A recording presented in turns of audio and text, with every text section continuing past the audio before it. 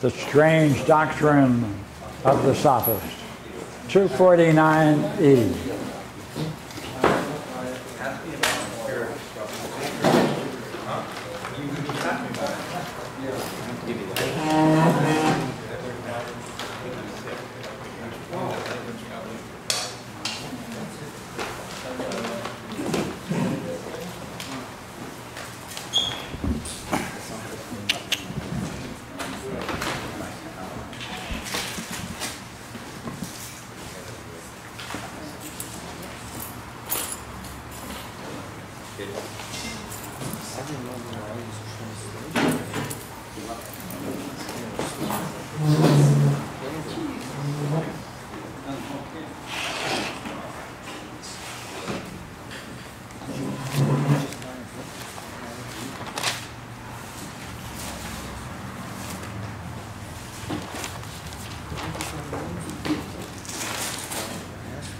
Does anybody need a copy of this office? I've got a Thomas Taylor if you want. It's not a load, though.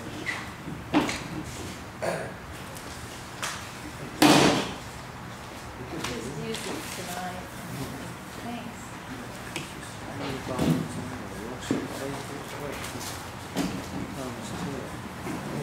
Ooh, this is a tough one.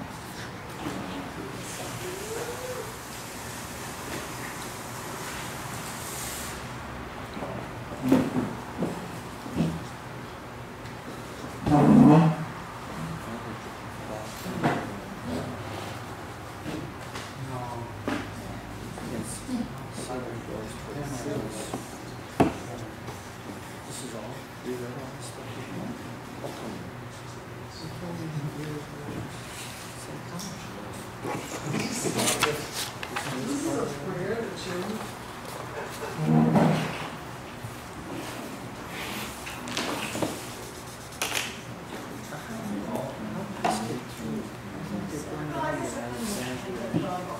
Library. No, I mean, you know, it's two thousand years ago.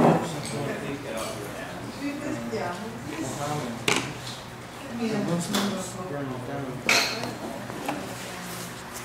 How does it make it this far? Must have been translated Tank. from Greek to Latin Hi. to now English.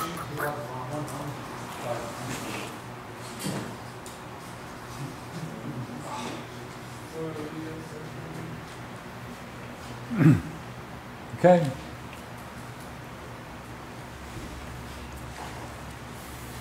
Being. It's the nature of ultimate reality in Greek. It's that which always is the same, no variations. As an experience, is the most brilliant light of being. That's why it's a realm of intellectual mysticism. It's also experienced as pure beauty, pardon me, for the perfection of, of beauty. Symposium, hmm. right? Republic, Parmenides, Phaedrus, Republic. so now that we're going to move into 249E, 8, our good friend is now going to get into being. Right?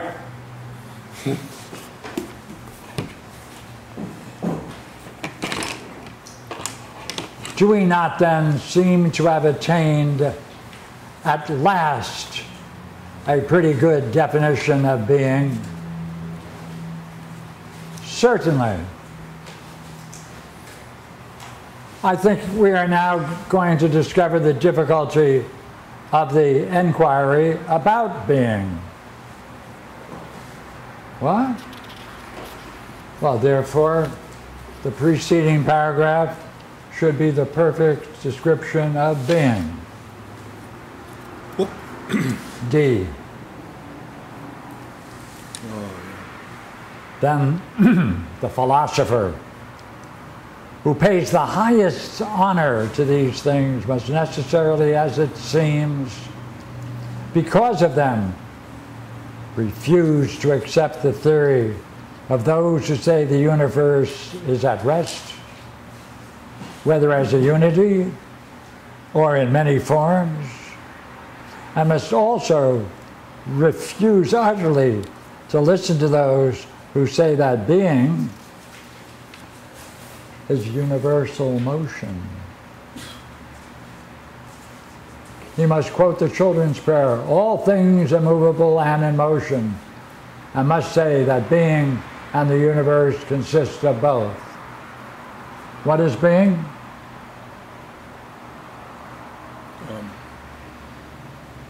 all things immovable. All things in motion and immovable. and at the same time immovable. Right?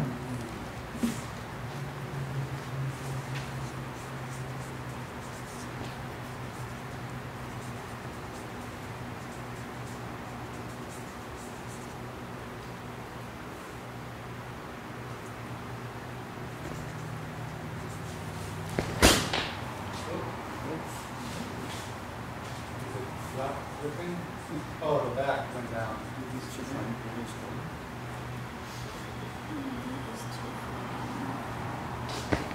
Thank you. Guys, Somebody set a trap here.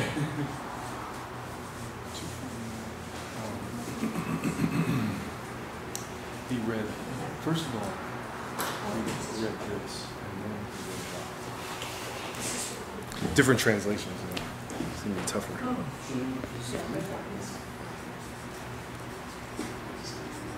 So you can see. By the way, are they the same? Not quite.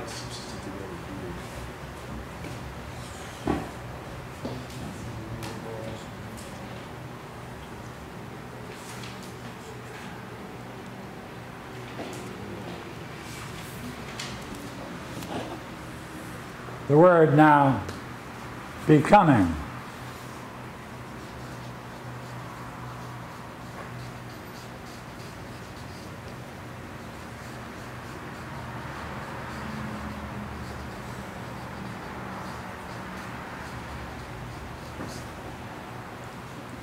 Always in motion. it's the nature of the universe, of appearances, of the everyday world. in which there is also rest.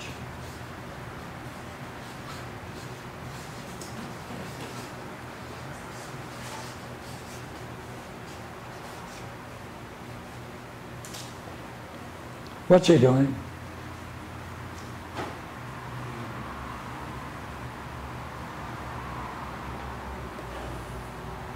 Um,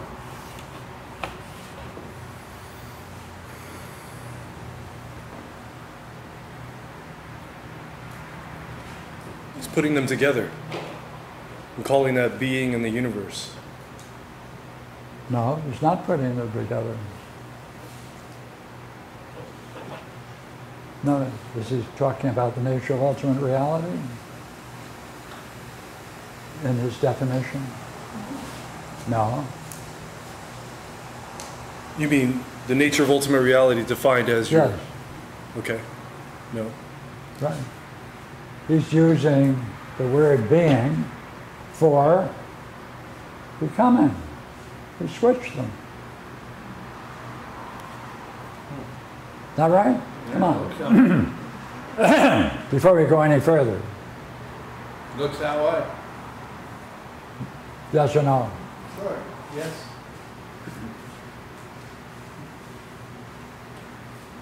How can he do that? Why does he do that? You're absolutely right. That's the, that's a fundamental problem of why it's called the sophist. Wait, Yeah. But why are you saying that he switched them? Well, He's using the word being for becoming because he does he does say it's immovable, all things immovable. I mean, becoming is not immovable, is it? yeah, could this be another word for rest? Mhm. So being is in rest and in motion. And it's, and that's the universe consists of both. Being in the universe consists of both.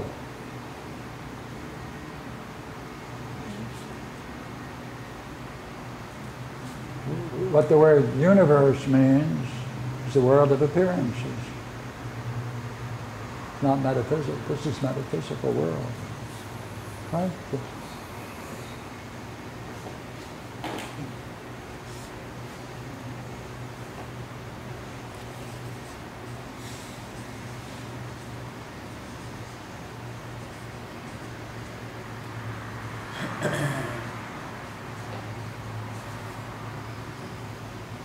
Prior to the universe. It's independent of the universe being.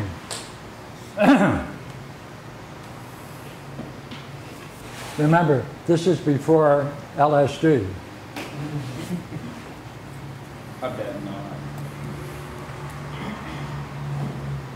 So the question is, as you look at this, is there enough reason to say he's got, he's taking the idea of becoming and he's calling it being? And now he's going to say,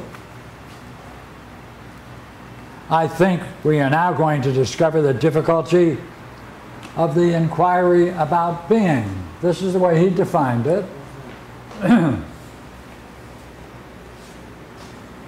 there is a problem with this. There is a difficulty.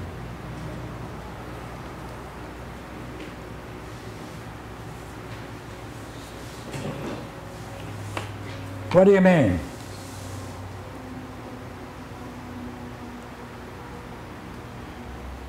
My dear fellow, don't you see that we're now densely ignorant about it, but think that we're saying something worthwhile? Pardon he just said something. As he, uh, I presume he must be talking in general, but not of the thing he just said. But we'll put that aside.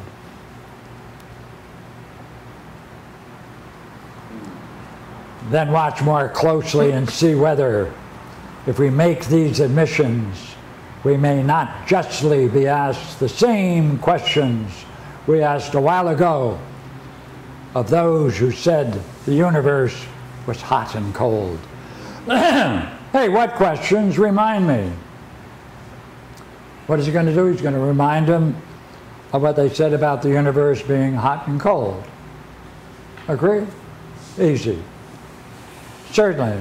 I'll try to do this by questioning you. What does he have to question them for? All he has to do is say, the universe was hot and cold. Ignore that, okay? I will try to do this by questioning you as we questioned them at that time. I hope we shall at the same time make a little progress. Very well then. You say that motion and rest are most directly opposed to each other.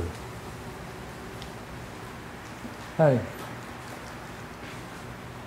Motion and rest are not under the name of being in Platonic metaphysics, in the Republic, everything. So what's his departure point? Rest in motion. So he's taking immovable as rest.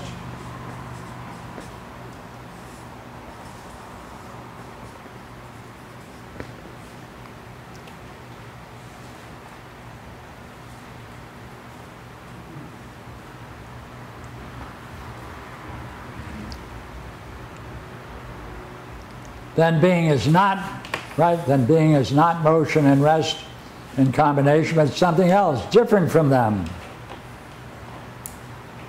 Apparently.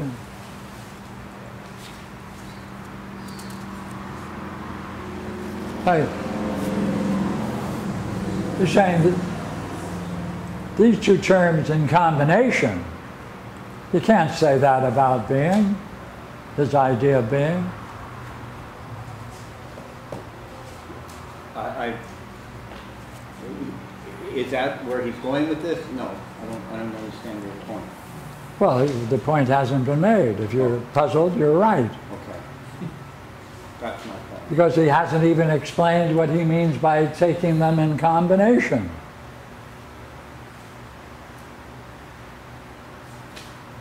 It would be nice if he gave an example, would he not? There aren't any. Watch. What is there left then? To which a man can still turn his mind who wishes to establish within himself any clear conception of being. So, uh, uh, how is that connected with this last conclusion he came to? You skipped down a little. Do you know that? No. Well, yeah, yeah, he's been doing that. Okay, all right. well, yeah, well, that's because, yes, please read it. No, um, if you want me to, I'll read through No, no, it, but, uh, no, no, please do it. but I don't know if that would help. No, it, right. it'll help. Go ahead. Uh, Then being is not motion. Go ahead. Or did you Then being is not motion and rest in combination, but something else. But being is not motion and rest in combination, but something else different from them. Rejects this, and they must be in some other sense, but not in combination. Did he just change his mind? Paragraph above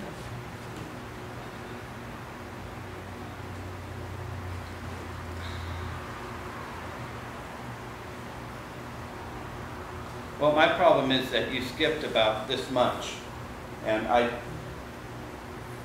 So, Let's, let's, if you don't think it's necessary, no, no, then- no, no. I'd rather go back, please. Pick it up.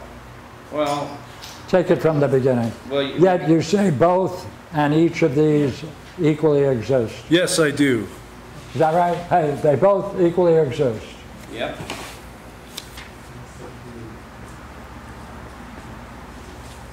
That's rest and motion. Yeah, okay, that's pretty obvious, isn't it? Go ahead. And in granting that they exist, do you mean to say that they both and each are in motion? That both and each are in motion? Both. Thank motion you. and rest. Wait a minute. Rest is in motion. Of course not. But do you mean, but do you mean that they are at rest when you say that both exist? Of course not. Being then you consider to be something else in the soul. A third in addition to these two, inasmuch as you think rest and motion are embraced by it. And since you comprehend and observe that they participate in existence, you therefore said that they are. Huh? Mm-hmm. Hold it. Embraced by it.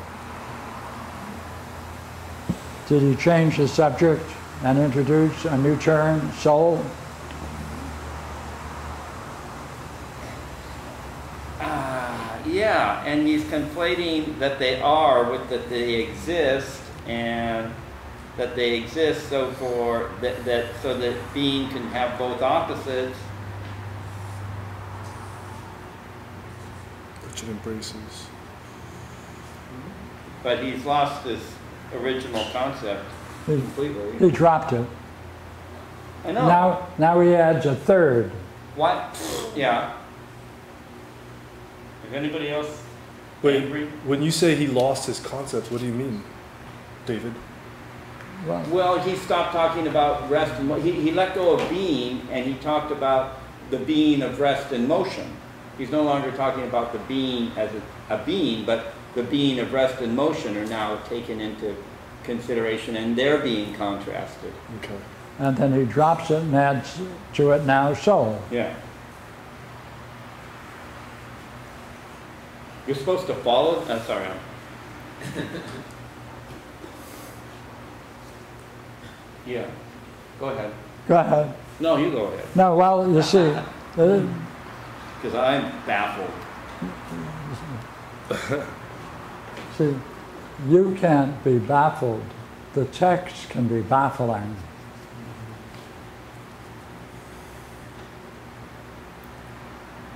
If you say, I am baffled by the, if I am baffled, then you're taking the burden. Yeah. I'm saying, take a look at the text and let's take a look at it. Well, I think this is an excellent exercise because because everybody has this problem of lacking consistency in their thinking. And to be able to check it at every point is Yeah. great. Yeah, that's what we're doing. Yes, I get that. Yeah. Okay, good. Yeah, David, I really appreciate your saying that because I was just sitting here asking, why the hell do you spend any time in this? Does anybody spend any time in this dialogue? But that's it. That's, I mean, that's a great reason. You, you know, people are, if, if, if what you just said is true, people make this kind of mistake or, it- you know, maybe it's intentional all the time, they don't follow up, they, they drop points. So this is really a type of exercise to go through and capture as many of them as you. It it is, it is an exercise, but I think fundamentally it's a satire. well, why are we laughing?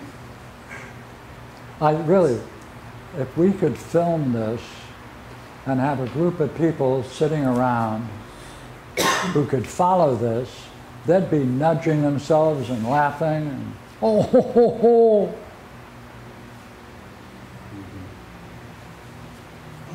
It's a satire.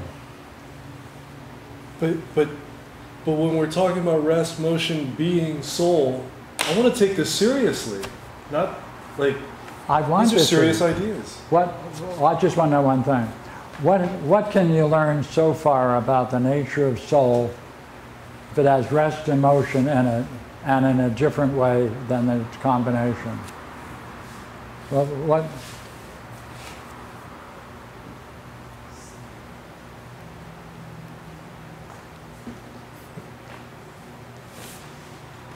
Well, uh,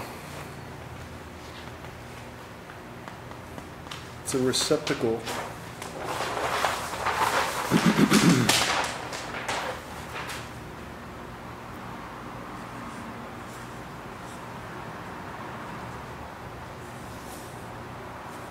Well, that it would always be going towards one, either rest or emotion.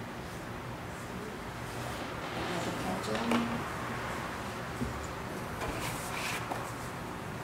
Can you uh, maintain that with a quote? No, I'm just reading this because I can't understand this. Ah, here we go. hey, for Greek, the word soul doesn't have any metaphysical existence. It's accepted that there is something in man that has three parts a rational part, a spirited part, and the appetitive. And in, on reflection, they add one more thing to this a certain kind of reasoning, and that's the uh, ousia, the reflecting upon oneself. Another way, a development of reason is also the dialectic.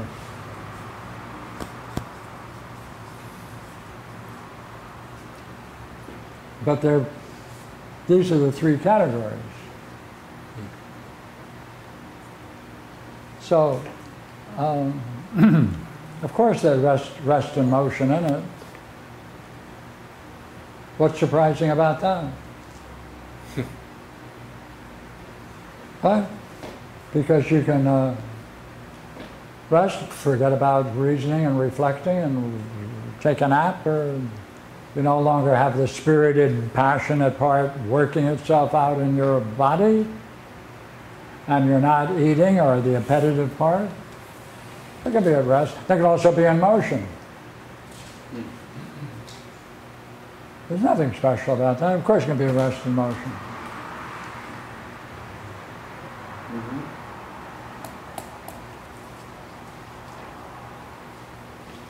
Here, can I just ask a quick question about one thing you just said? You said, uh, did I get this correctly, that to the Greeks, the soul was not a metaphysical thing? For them, it was just um, accepted. What did, what did you mean to say? Well, wait a minute, them, wait a the minute, wait a not a minute, wait a minute, Would you agree, everybody would agree, that there is some rational element in man? Yeah, oh. By the way, also passion, yep, oh, also the appetitive, yep. they put a name around those three. So It is not assuming it's eternal, it's not giving it any metaphysical qualities. It's almost biological. Of course, But Oh, so you're talking about these qualities of soul, but I thought you were talking about the soul itself was not seen metaphysically. I, I guess I misunderstood. Okay. no. in the Republic, the end of the book one.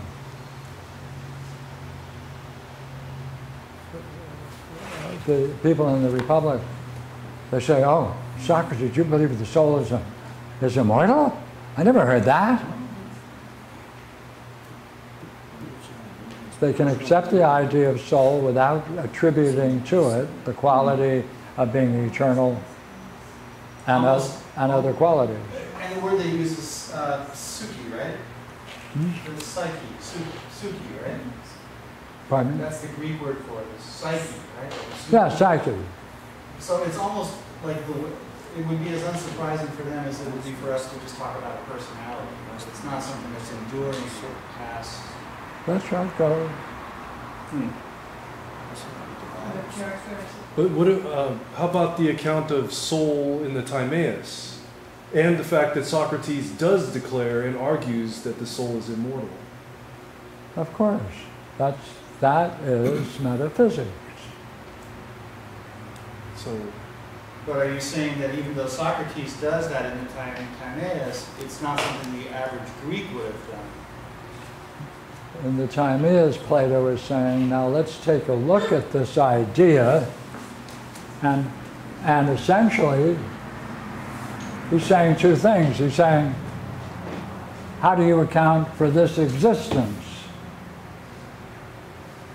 What is it about it that ties all of these together? And so he says, you know what? There has to be something fundamentally intellectual in the universe.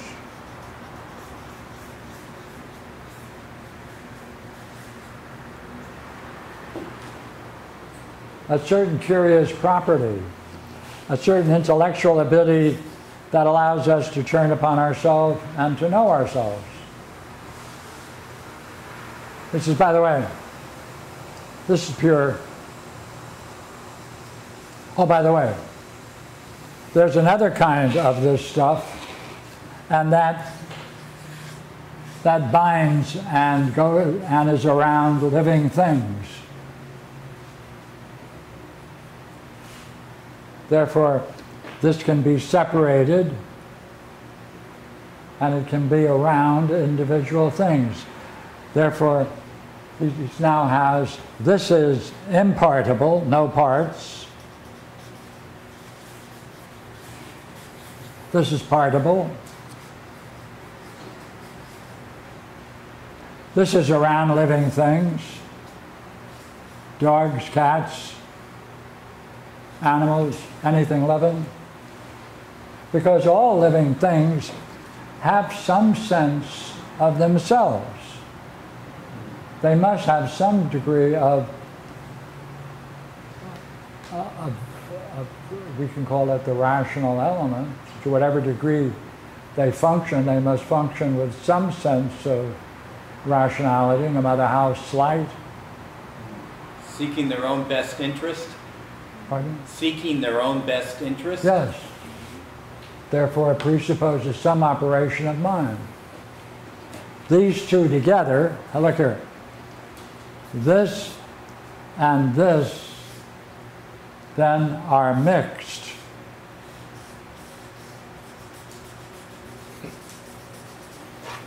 and that produces a new kind of thing, and that's called soul.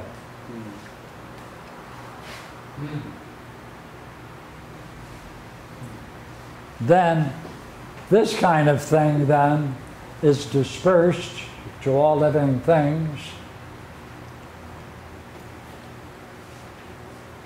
And in doing so, it then brings with it life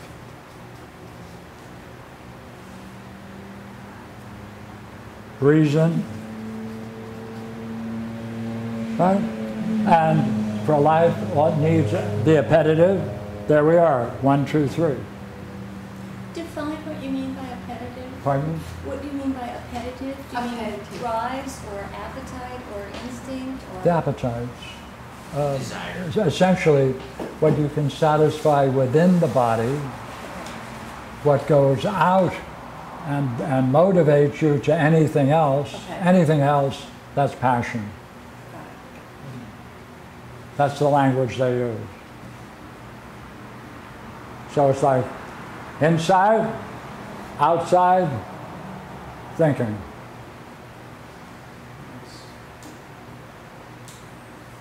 So for him to say soul is motion and, and rest, yeah, there's nothing surprising about that. So what is he going to do with it? He's no, there's difficulties with it. Let's see them,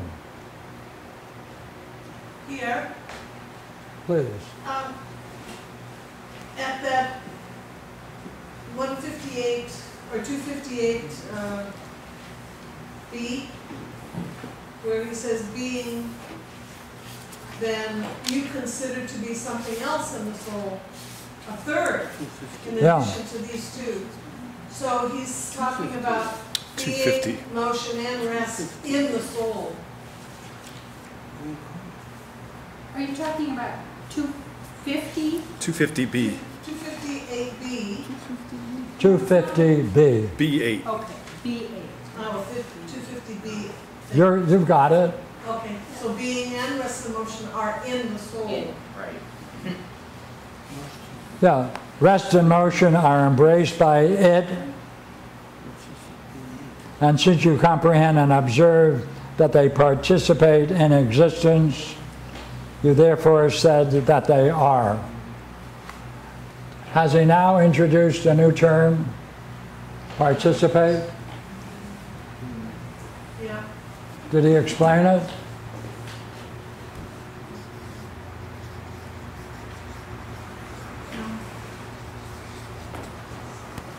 And when you participate, you gain existence?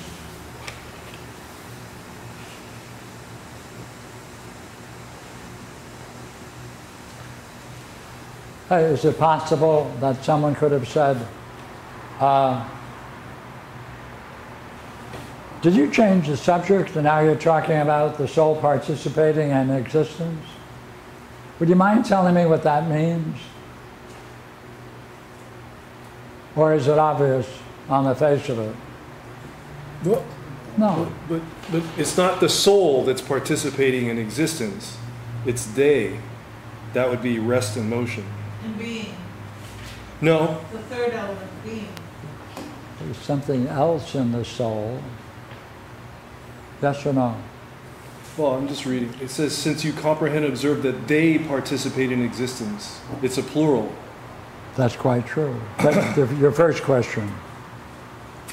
Being then, you consider to be something else in the soul. Something other than what he just described, which is what? Rest and motion. Yeah.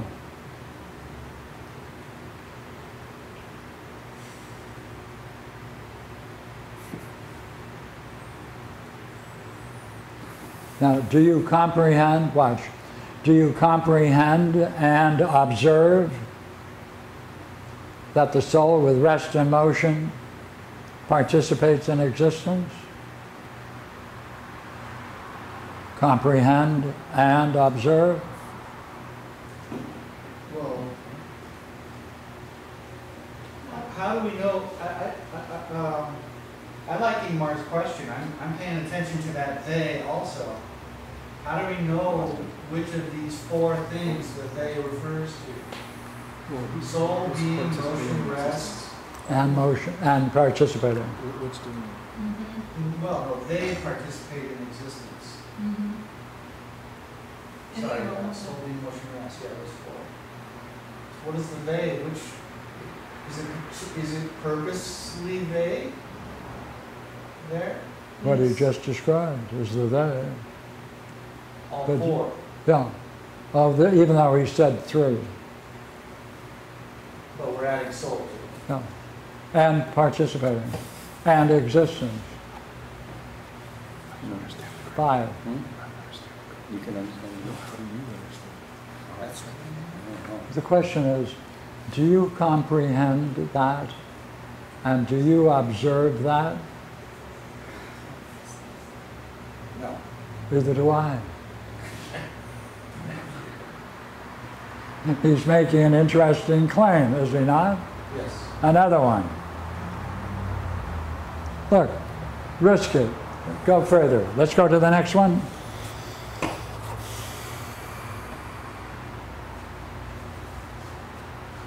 Theaetetus, we really do seem to have a vague vision of being as some third thing when you say that motion and rest are.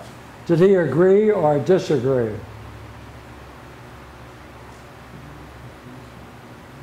we really do seem to have a vague vision of being. He was just asked, do you observe and see this? Uh, what? Do the, uh, okay, so that's existence and are are the same. um, Would you agree in the preceding paragraph, he's asserting that you should be able to comprehend and see this? Yes. Does Theaetetus say, oh, absolutely? No. No. What does he say?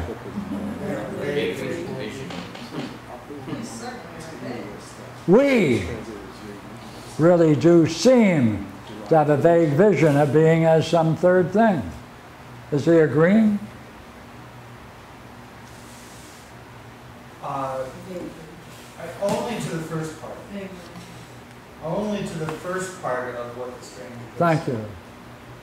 There, is there a weakness in this? Yes. Good. Hold on to it. His response, come on. Then being is not motion and rest in combination. What did he just reject? What he formally set out. Is that correct?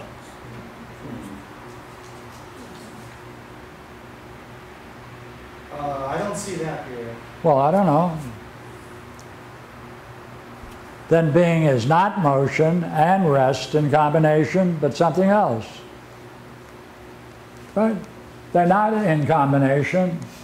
Hey, they are not in combination. They're in some other relationship. Some third thing. Wouldn't you like to know what the new relationship is? Yes. Good, we'll get it. Will you read the next section? According to its own nature then, being is neither at rest nor in motion. Wait a minute. He just said he's going to do away with the idea of rest and motion in combination. Now what is he saying?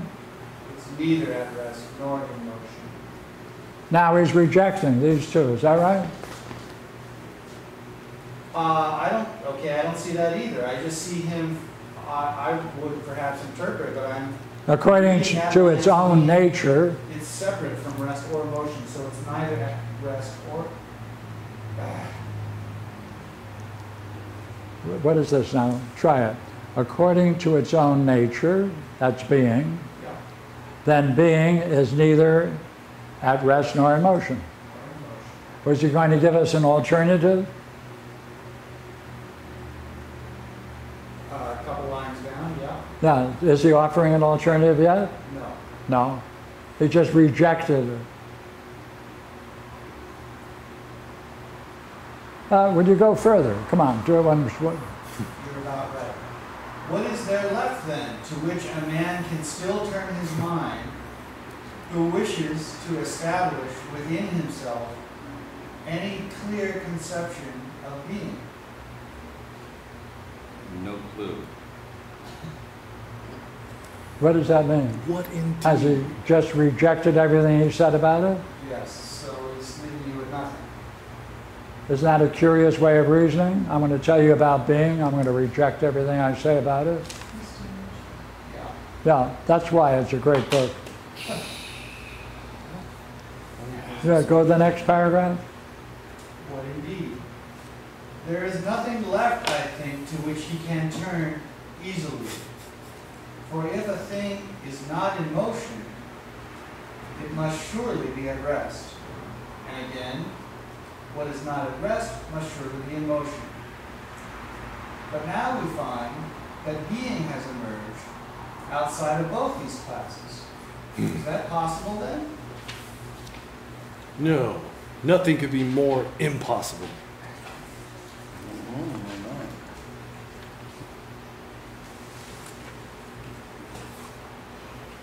What did you just do? He gave a nice talk about rest and motion, but concludes, but we find that being has emerged outside of these classes. So he has not contributed anything about being yet, has he? No, it seems just more like more repetition. We're, we'll get it, we'll get it. Oh, Then there is this further thing which we ought to remember. What is it? that when we were asked to what the appellation of not being should be applied, we were in the greatest perplexity. Do you remember? Of course I do. By the way, has he been talking about the struggle to understand being? Has he changed the subject? a bit. Now we're going into not being? Since he did such a beautiful job explaining being? I think these guys sat around with their, their diluted wine ready to. Huh? Undiluted one. Perhaps undiluted, right. Has he just changed the subject to not being? Yes. What do we, oh, now we'll get it. Yeah. Probably not. It's a farce. Well, he does so much to mess up each argument that from, from the beginning to the conclusion of each argument, there's also no consistency there. Right, And throughout the argument, there's no consistency. Right. And he changes subjects all the time. And so, and, but, but now he can go to, without really having treated with what being is, he's going to now say, well, maybe we have to examine not being, because by examining not being, we can get a better idea of what being is. No, he's not gonna go there, he's just changed the subject. No. Well, if we keep, if you keep reading, he's saying, look, we had perplexity about not being, and now we got perplexity about being too. It's like he's saying, look how dumb we are. Yeah. Well, he's trying to explain both. but no, we'll get, we'll get a good idea of, of non-being. Or do you think we're going to end up in the same place?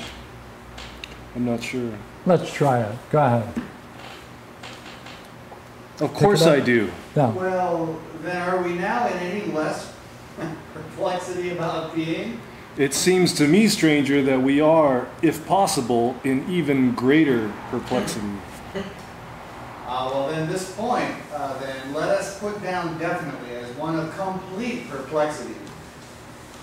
But since being and not being participate equally in the perplexity, Has he shown any perplexity about non-being? No. not yet. Is he assuming it?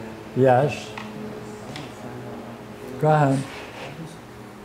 There is now at last some hope that as either of them emerges more dimly or more clearly, so also will the other emerge.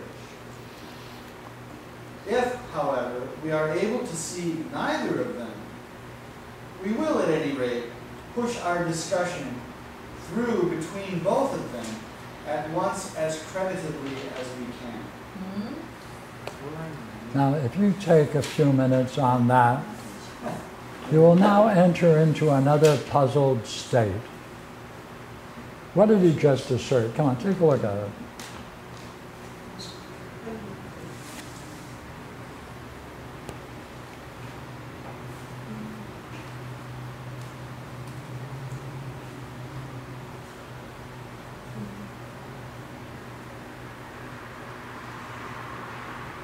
Doesn't matter where we go.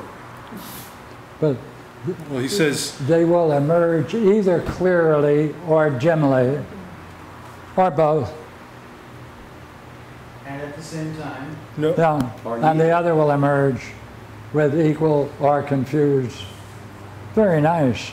And if we get neither of them, we'll at any rate push our discussion, which it seems to be between both of them. Paramount, being able to push the discussion regardless of whether or not you, you land on what you're looking for or not, That's right. And we'll do it credibly, with credit. Creditably. credibly. how can you, and how can you, how can you push through what you can't see? Seemly. Look here, all you're pointing to is it doesn't make sense.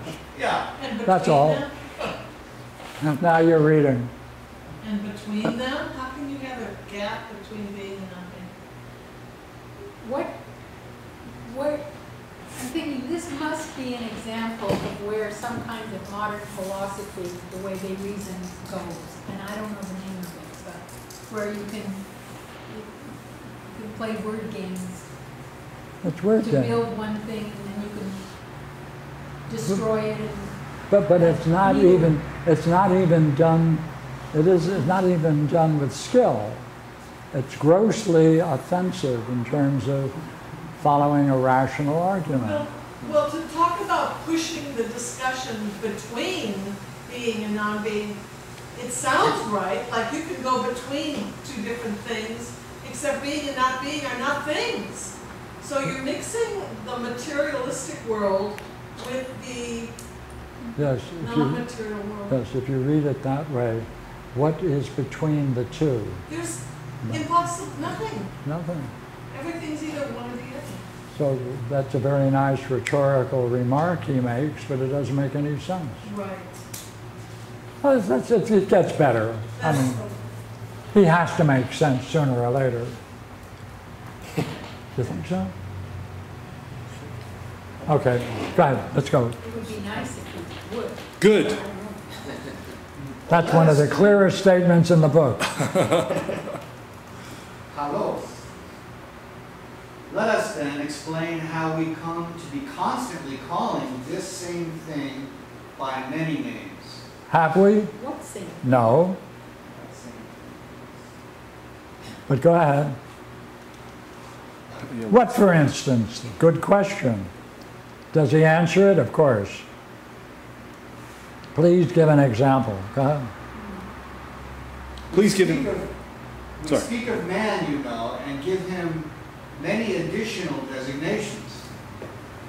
We attribute to him colors and forms and sizes and vices and virtues. And in all these cases, and countless others, we say not only that he is man, but we say he is good, and numberless other things.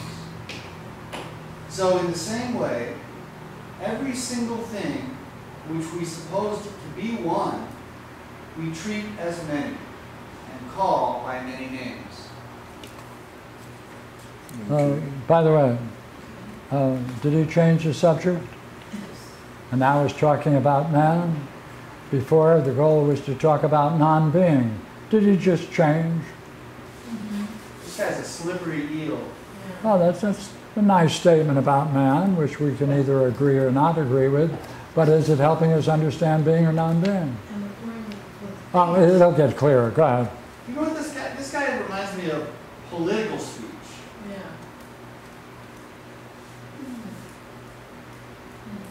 Right. Now, the next paragraph you're going to enjoy, okay? It's a real fun one. true. And it is in this way, I fancy, that we have provided a fine feast for youngsters and for old men, whose learning has come to them late in life, Uh, Who did he leave out? Women. adults? Everyone.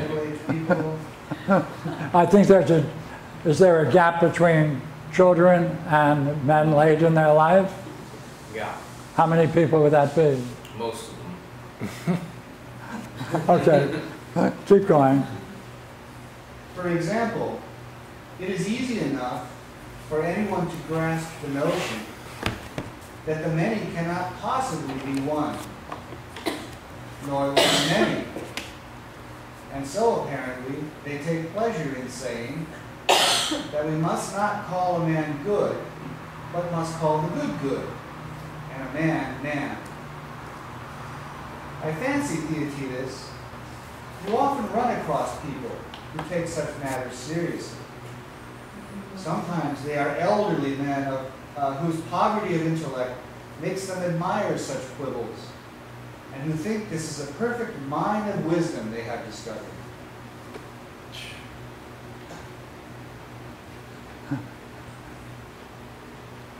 Well, come on. Now we can just. Certainly. No, no, no. Well, come on. What is that We paragraph? can Come throw on. out the Parmenides, No. questions about one and many are just, uh, an intellectual game for people who lack intellect, who have poverty of intellect. And they admire such quibbles. These are the people, young people and people in their old age, right, or late in life. This is what they've discovered. They take pleasure in saying that we must not call a man good, but call the good good and a man man. Hey,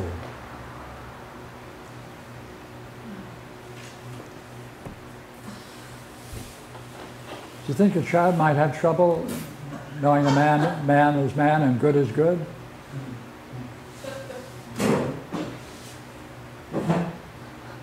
Yeah, let's keep those separate.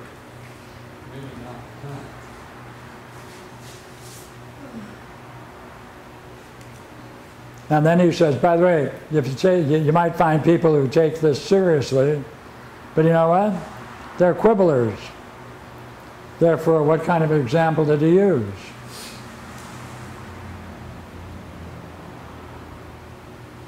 A quibbling example. Yeah, that's quibbling.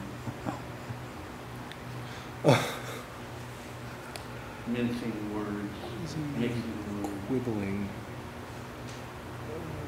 Right? Now remember the two groups he has. Got the two groups? Mm-hmm. Now he makes a good conclusion. I think that includes everyone. Okay? Continue. Well, but it, there is this footnote at the bottom. Geez, Louise, I'm not trying to save this guy, but he is he is saying that there, he is uh, the Loeb is saying that, that he's satirizing these these three guys. Uh, who he's probably referring to as the old man who's learning came later in life, and all he can do is just do equivalences. Well, what I think he's, his mistake is, he's trying to take this seriously and find examples of these kinds of people.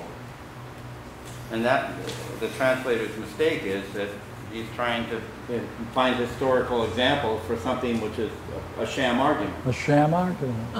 But, but uh, there's more in that paragraph. Come on. And to include. Remember, we have two groups of people he's talking about? And now what is he, how does he conclude?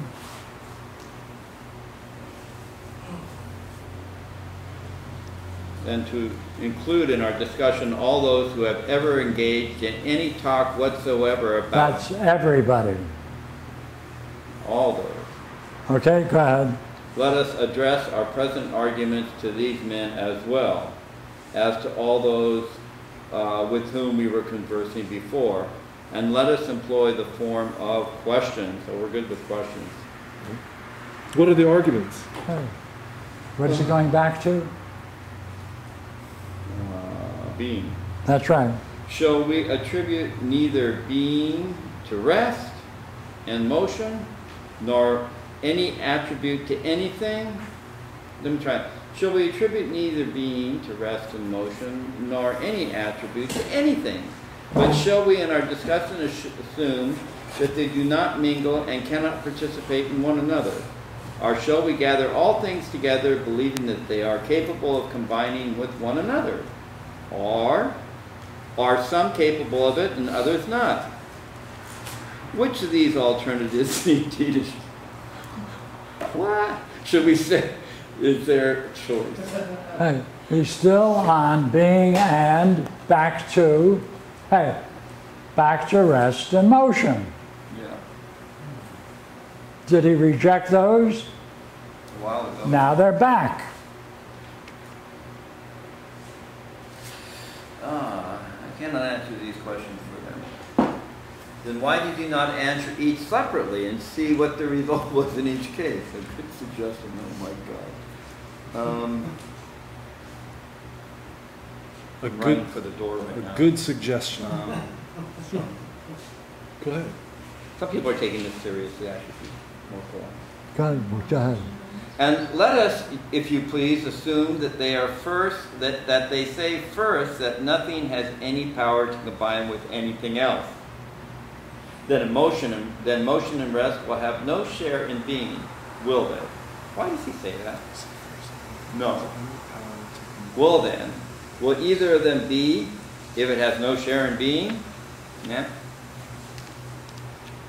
See how by this admission everything is overturned at once, and, as it seems, the doctrine of those who advocate universal motion, that of the partisans, that of the partisans of unity and rest, and that of men who teach that all existing things are distributed into invariable and everlasting kinds. For all of these make use of being as an attribute. One party says that the universe is in motion, the other says that it is at rest. There's, he, he can juggle a lot of words, that guy. Yes. Now what do you have to do? You either go back and try and figure out what he says, That's right. Again and again and again. you have to really go, and then, and it, it is harder than the Parmenides to understand this thing. Well, And um, that only took 40 years.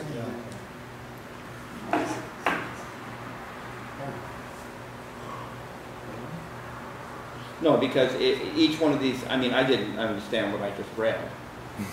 I didn't get all the distinctions and I couldn't conclude about each sentence. well, So but I would really have to go back and do a sincere job of reading. And if you paragraph. Were to do it, you would hope there would be some rational order to it. Yeah, And if there isn't, you will then understand why you're not able to piece it together. yeah, I know. But you still want to give it that old college try. Okay. Let's try. Come on, give it the college try. Wait a. Exactly. Uh, another silly question. If that's really what we're doing, and this, this dialogue starts, I mean, it's not a small dialogue. What is it, called? two sixty-five, four fifty-nine? I mean, if that's what we're doing, this is a pretty fat dialogue. If we're doing that again and again and again. I mean, I think of Plato as a sparse writer. He doesn't put anything in there that doesn't belong. He doesn't. Well, this is just going on and on and on with the same. I mean, this what he's doing could be done in a couple of paragraphs and be done.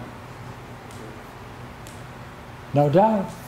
Now you understand the puzzle. Yeah. So why is it like this is torture? And there are people who quote this guy, the, the Sophist, Plato's Sophist, to make philosophical points. To be philosophical. point. Yes. So well, I would hope so because then. then We'll find it. No, no, else. look here. He has to finally make sense of something. Agree? Why? Why does he have to? Hey, Jeff, would it be easier or tougher to understand if he did all of this in a couple of paragraphs? It'd be a lot easier. Hmm. But he didn't do it in two paragraphs. No. Hmm. So what do you see that I'm missing? Well, it's not two paragraphs. So? So I'm not sure. I'm missing how you think that he can do what he's doing in two paragraphs. Because Pierre keeps saying the same thing, that, that with each pair, and we just agreed that with each thing that we go through, you have to stop, you have to read it, see the ridiculousness of it. Well, we've been doing that for good number of pages already, and there's a good number left to go, but we're gonna keep seeing the ridiculousness of it over and over again. You could do that in one ridiculous and be done. I So, don't see that. Why repeat it? try this. He's probably wrong. Can you find a paragraph that makes philosophical sense so far? Oh, no. I'm not, I'm, I wouldn't make that claim. What? But that's different than what Jeff is saying. So look, So I'm, I'm I'm willing to admit I obviously am missing something here, that's my question. okay, look here. One more week on this, right? But now, do it yourselves and try to find a section that does make philosophical sense. I'm gonna write that down. There's only a short number of pages left.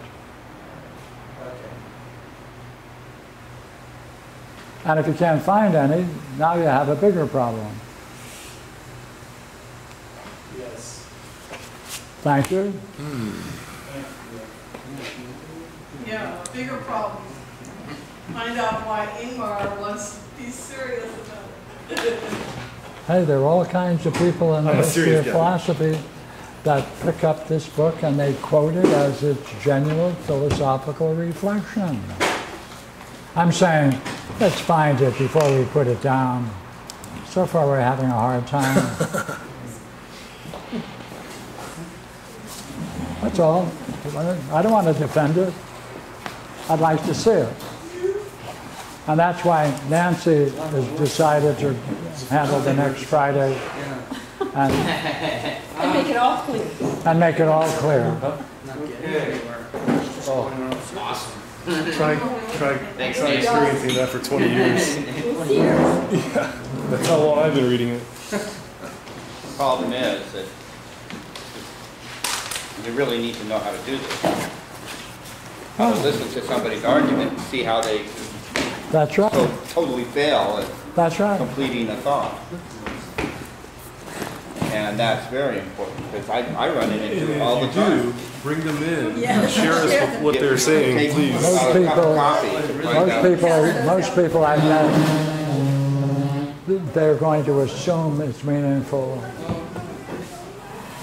And I always say, show it, show, show, come on. You want to come back? Are we gonna come back? Yes, We're Yeah, Might as well. I hope so. I, uh, can't stay to pick things up, so Ingmar, you have to. hey, Proclus thinks this guy's great. Oh, really? I was looking here on the internet to see what people have to say about it. Did you see, uh, There's quite a bit uh, out there about it.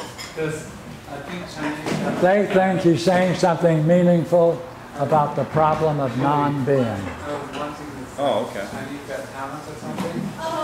And I just looked Why would you want to say anything meaningful about the problem of non-being? That's right. Like, We need to get a clearer grasp of this non-being. Pathologus. Here? You don't have to help, we can break this down so quickly. Well, I have infection